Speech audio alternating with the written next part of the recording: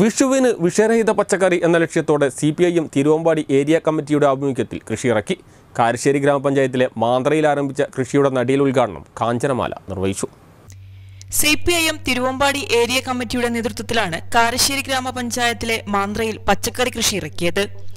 വിഷുവിന് വിഷരഹിത പച്ചക്കറി എന്ന പേരിൽ സി പി എമ്മിന്റെ നേതൃത്വത്തിൽ സംസ്ഥാന വ്യാപകമായി നടക്കുന്ന പച്ചക്കറി കൃഷിയുടെ ഭാഗമായാണ് കൃഷി. കേരളത്തെ പച്ചക്കറി കൃഷിയിൽ സ്വയം പര്യാപ്തമാക്കി വിഷരഹിത പച്ചക്കറി വ്യാപിപ്പിക്കുക എന്നതാണ് ഇതിലൂടെ ലക്ഷ്യമിടുന്നത്. കൃഷിയുടെ നടിയിൽ ഉദ്ഘാടനം കാഞ്ചനമാല നിർവഹിച്ചു.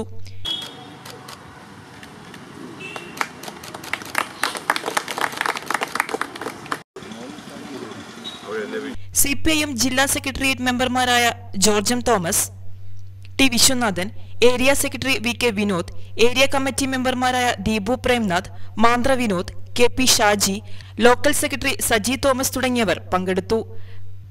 കർഷകരായ സജി പിലാക്കാട്ട് ഹരീഷ് മാന്ദ്ര ഷംസു ചോലക്കൽ മൻസൂർ കുറ്റിപ്പറമ്പ് എന്നിവരാണ് കൃഷിക്ക് നേതൃത്വം നൽകുന്നത്.